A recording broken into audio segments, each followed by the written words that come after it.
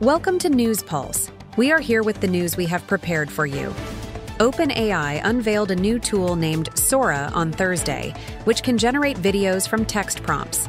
Sora is capable of producing realistic footage up to a minute long that adheres to user instructions on both subject matter and style.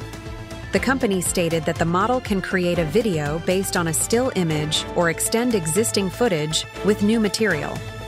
Researchers and video creators with limited access are currently testing Sora to ensure compliance with the company's terms of service.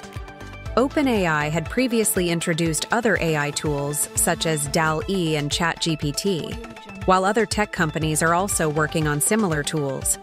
OpenAI did not disclose the amount of footage used to train Sora or the source of the training videos, but informed the New York Times that the images in the datasets are generally publicly available or licensed from copyright owners. Thank you for watching us.